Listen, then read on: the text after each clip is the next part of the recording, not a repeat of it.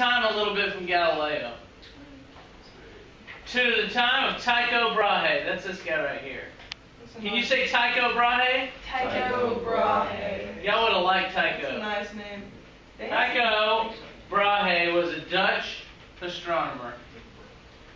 And um, he was a really rich guy. He was one of the richest guys in Europe.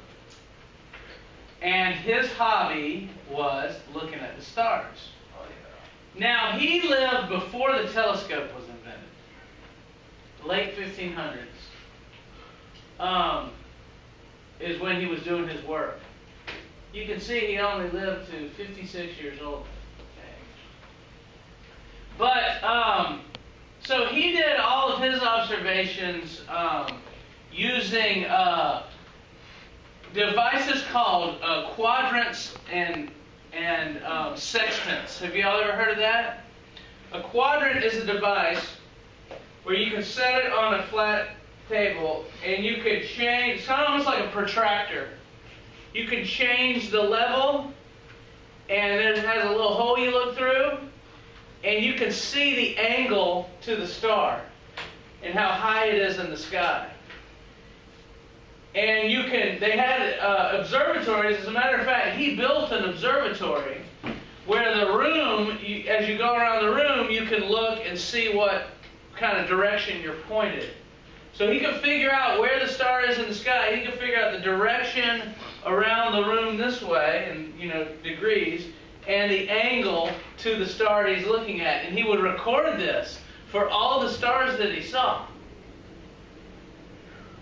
And he did that diligently each night for everything he saw in the sky. So he could tell, okay, on this night this star was here.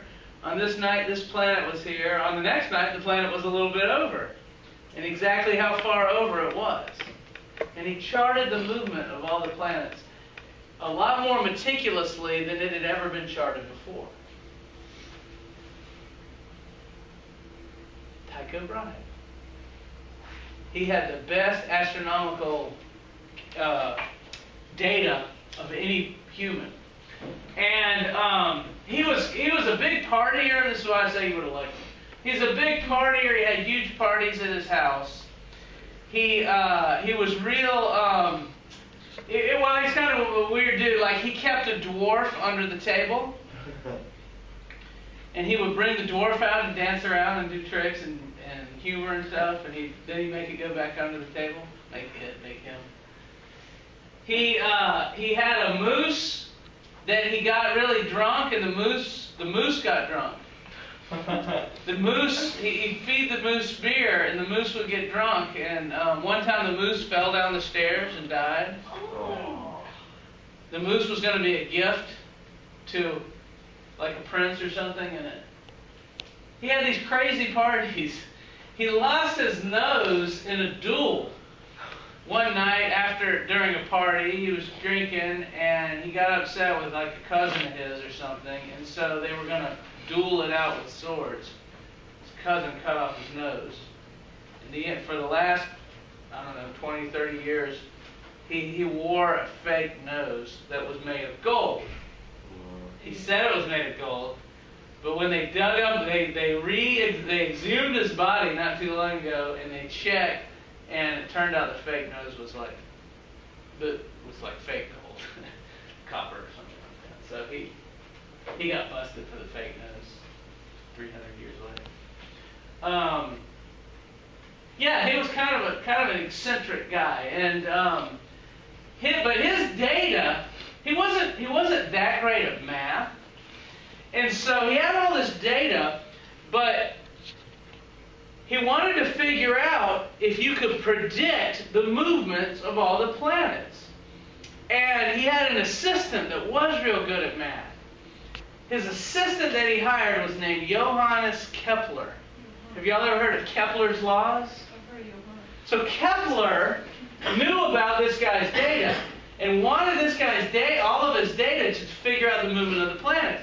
But Brahe was kind of stingy with his data. And Brahe was like, no, you can't have all the data, you can just have some of it, gave him little bits at a time. And Kepler, see if Kepler, see the next picture? Oh, there's, a, there's the quadrant that I was talking about. That's the device that measures the angle to the star and so forth. That's what he used. Is that that's that's uh, Brahe too. Let's see what this is. This might be about Brahe's life.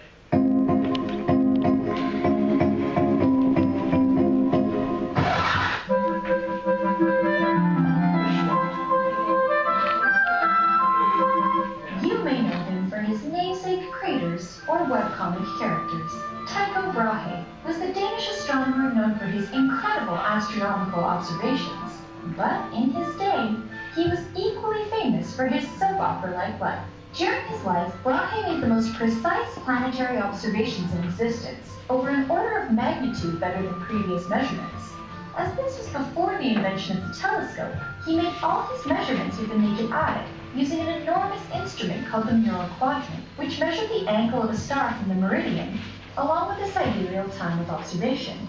But at 20, Brahe became known for another bizarre feat, a duel with a fellow nobleman, in which he lost his nose. He would spend the rest of his life wearing replacement noses of copper, silver, or gold, attached with paste.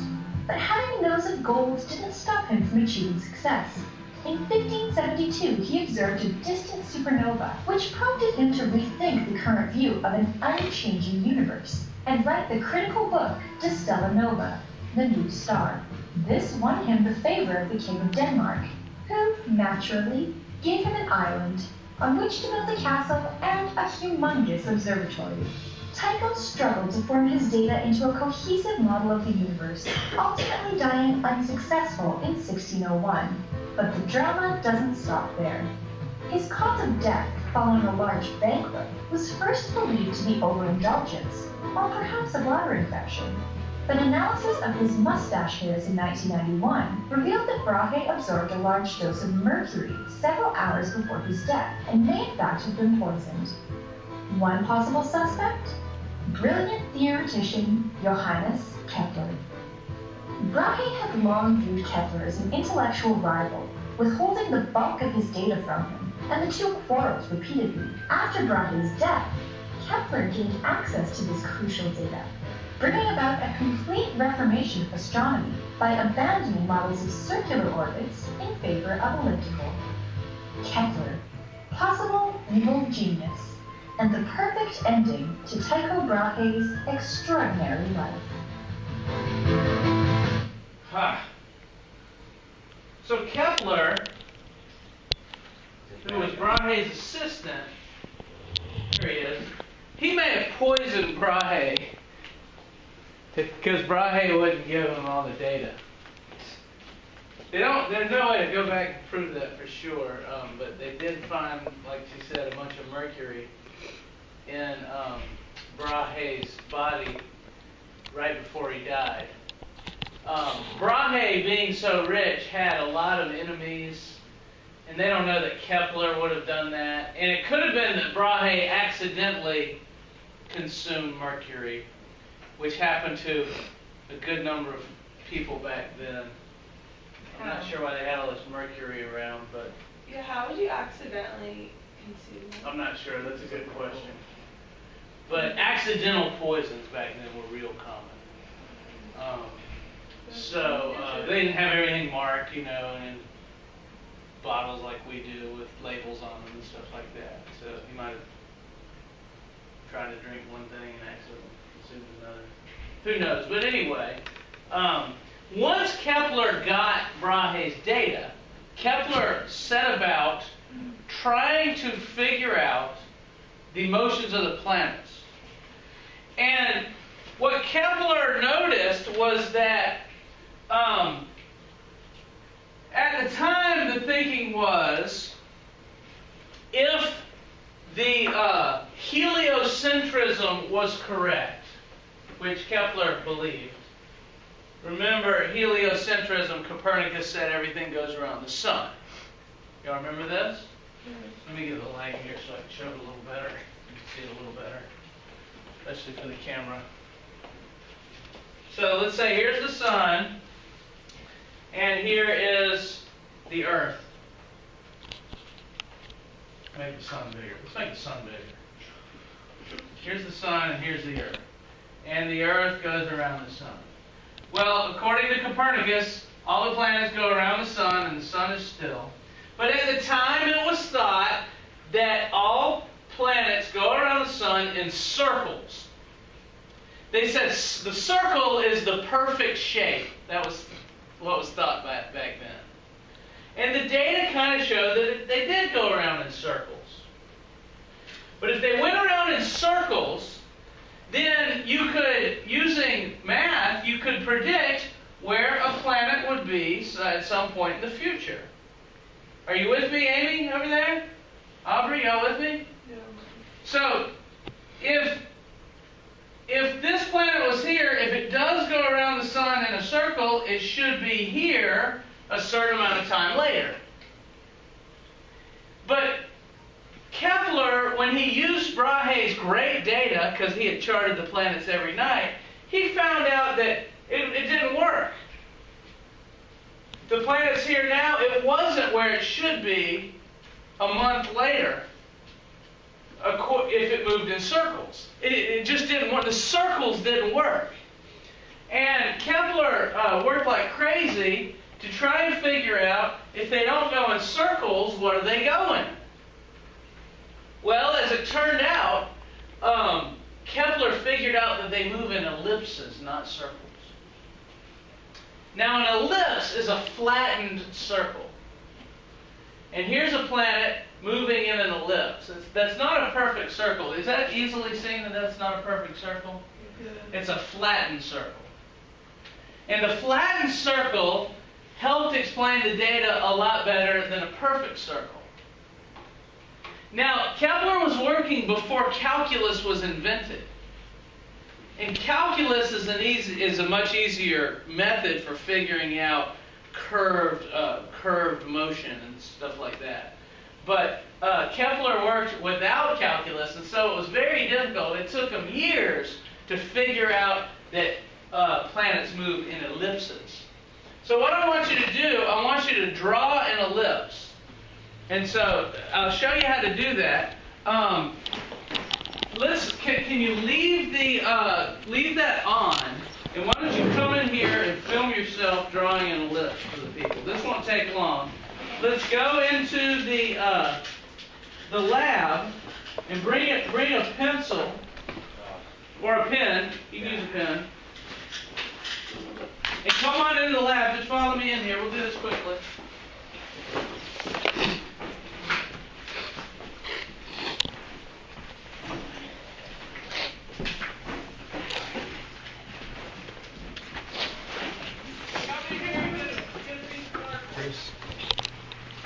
Charlotte.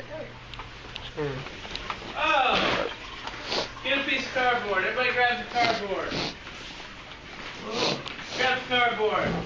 Here you go. Get you some cardboard.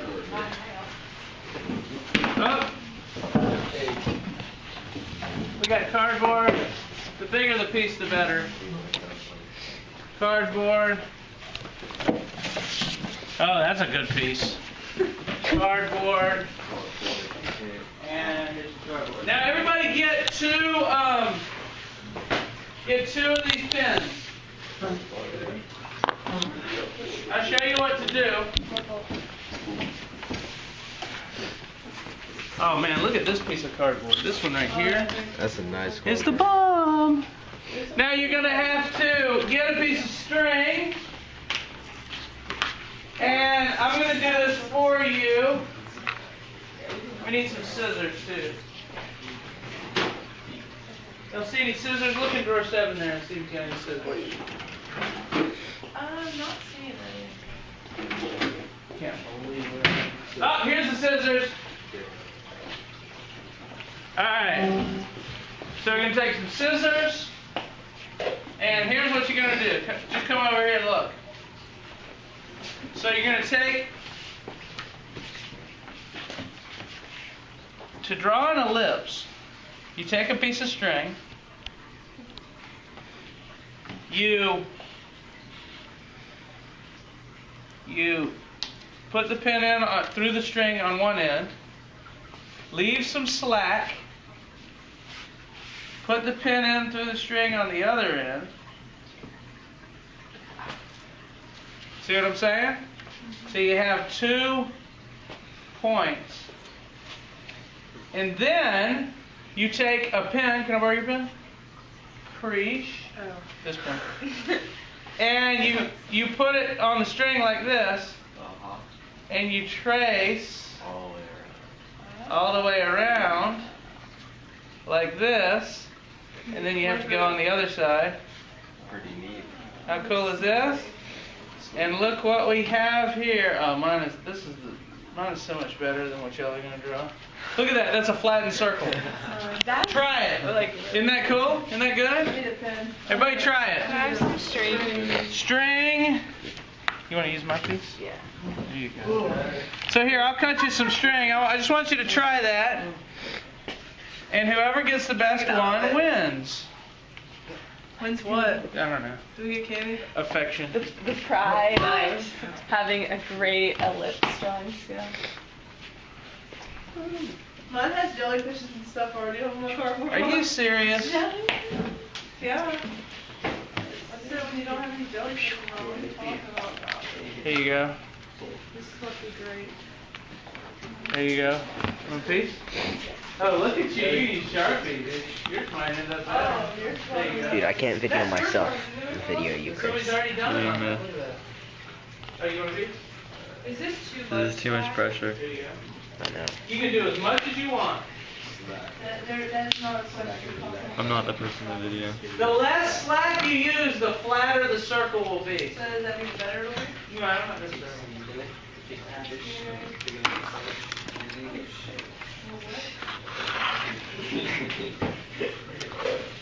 Make sure you I might have to use don't eat. Really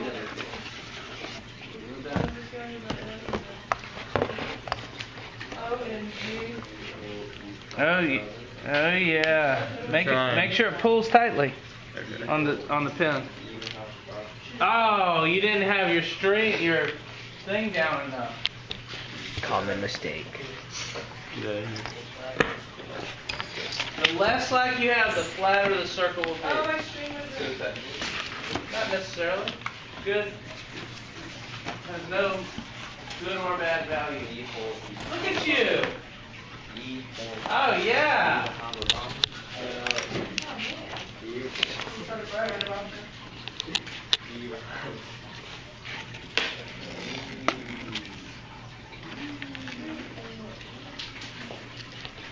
Okay, you don't One of have these. a pencil. I don't think you. No, give it back. So you gotta hold it tight. Give it back. I'm gonna try this one more time. You gotta do it tight. Hey, you want a bigger piece? Yeah, dude. This is a bigger Sharpie piece. Have you even done one yet? I don't think oh, I'm trying. You could You tripod that thing. Nice. I could record two Ah, hours. Oh, thanks, Jack. That's one. Of, that's this is a good ellipse over here. Wait, not yet. Beautiful ellipse. Alright. You drawn an ellipse? No. Very nice. Good. I like it. After you've drawn your ellipse, and I've seen it. This is masterful. You want a pen? You can set the hole. You The can, uh, put technique the on cardboard this. Back. I want to draw this. You can start anywhere, Want to use this? as long as you just hold it tight. Called Sharpies. Never in my life have I seen such a beautiful creation. There you go. Now you're doing it. We go back to the room. You can go back to the room. We're gonna continue with Kepler. Hey, here we go. Yeah, now you're doing it. Let's see your ellipse. Yeah. Now that's an ellipse. Don't ever say, I never drew an ellipse. Because you're doing one now. Put that on my resume. There you go. That's it. That's what Kepler figured out. Took him eight years. Took him eight years to figure out what you did in a few seconds. Good job. I kind of. Yeah, you Yeah, messed but- up the but- first but time, but the out. second time you got it. Put the cardboard up and uh, Oh, I wish I got to keep mine. put your. Uh, you get it?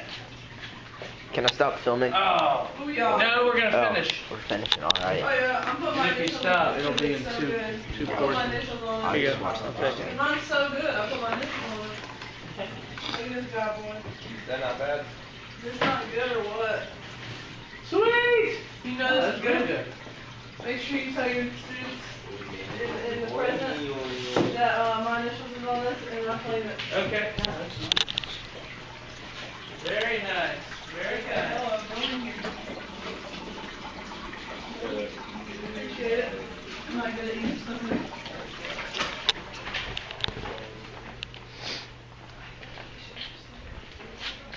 Go back.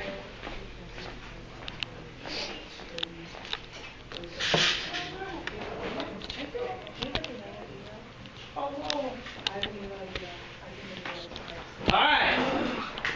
So, listen. So Kepler figured out that the planets move in ellipses, not circles.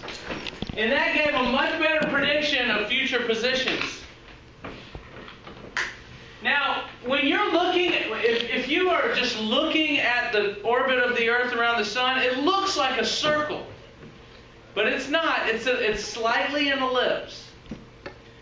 Planets are mostly circular, just slight ellipses, while comets and asteroids can be very tight ellipses.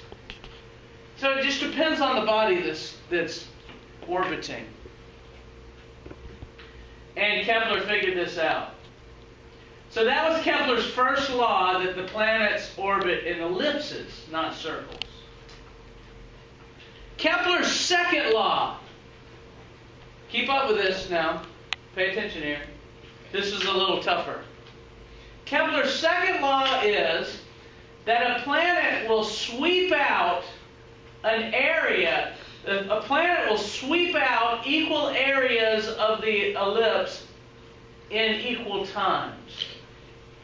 So here's what that means. If this planet goes from this point to that point in time t, let's say time t is one month. Uh, Amy and Aubrey, y'all got to look at this because you won't be able to understand it just by reading it. It's on my computer. Yeah, but but look up here what I'm explaining. So if it takes one month for a planet to go from there to there, then the planet has swept out, uh, Kepler would say, this dark area. So so you darken the area going all the way to the sun within the time period of let's say one month. And notice that it moves this area right here is equal to this area here. The planet sweeps out a thinner slice of the ellipse the further it is away from the sun. What this means is the planet moves faster near the sun than it does further away. So, so the, the, the thing is orbiting like this. It goes, it, it's, it's slow over here, and then fast, and then slowing down, slowing, slowing, slowing, and then it speeds up. You see what I'm saying? It's not traveling at the same speed the whole time. It's not a constant speed. It's faster near the sun than it is far from the sun. And, and, and Kepler figured out there was a mathematical relationship. The area that's swept out in a certain amount of time is equal. So that area there, if you calculate that area, that's equal to this area here. Does that make sense? And, and how does it say in the read? I don't have the actual words in front of me. What does it say for Kepler's second law? An imaginary line connecting planet and sun sweeps out equal areas during equal time intervals. Therefore, the Earth's orbit speed varies at different times of the year. The Earth moves fastest in its orbit when the closest to the sun and slowest when farthest away. Kepler's second law of planetary motion was calculated for Earth. Then the hypothesis was tested using data from from Mars, and it worked. Nice. Should we, are we reviewing math? No, there's no math. You just have to understand. I'm not going to give you a mathematical problem. I problem. was just looking at like the fifth law. Well, we'll get to the third law in a second. But isn't that cool? Kepler discovered that without calculus. cal- you need calculus to figure out the, the area under a curve. Has anyone here taken calculus? Have you have y'all done any of that yet? No. No? Okay. Well, he did it without calculus, which is very tough math. He actually were, was cutting out pieces and measuring the size and stuff um, in his models. It took him like eight years. Okay, and then the third, Kepler's third law was that if the planet is orbiting farther from the sun, it orbits slower. So here is showing uh, uh, four different bodies. This one close to the sun, that's Mercury. And that one a little further out, that's Venus. And then this one further out, that's Earth. And this one even further out, that's Mars. And you can see for all of them, the closer you are to the sun, the faster it moves. That's Kepler's third law. Closer you are to the sun, the faster you move. Further you are from the sun, the slower you move. And so, using all these three laws he made, he could predict the future location of a planet way better than anyone else could. And to prove he was right, he predicted a uh, he predicted that Mercury, the planet Mercury, would go in front of the sun at a certain point in time. That Mercury would kind of move across the sun or block out the sun, and he predicted it for the, a future time period. It's called a transit. Mercury would transit the sun, would go in front of it. Now, you can't look at the sun and see Mercury with your naked eyes, but if you put on sunglasses, many sets of them, you can. And um, uh, Kepler predicted this, that Mercury would transit the sun. And especially using a telescope, you would be able to see it happen. And they did have telescopes when uh, this prediction was going to take place.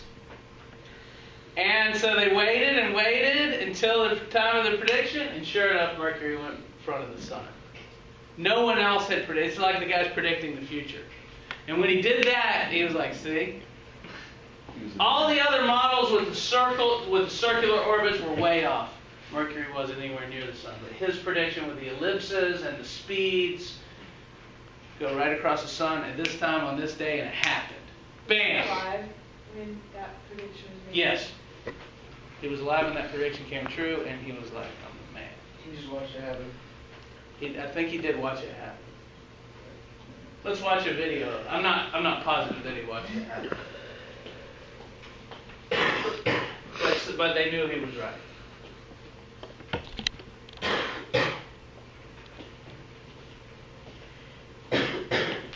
So this is video about Kepler.